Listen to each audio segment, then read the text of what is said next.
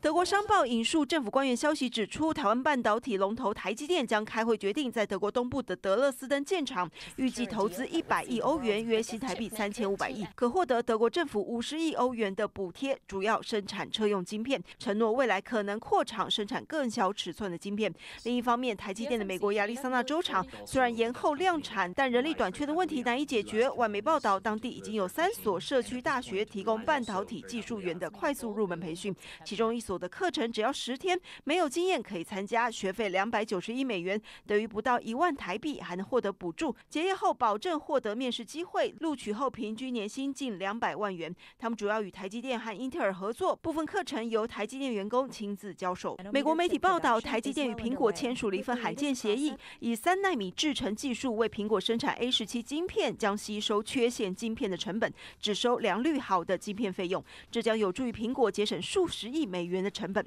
分析指出，因为苹果订单大，又是台积电三纳米新制程的第一个客户，大量投产有助于加速提升制程良率，这是台积电愿意给出优惠条件的主因。记者综合报道。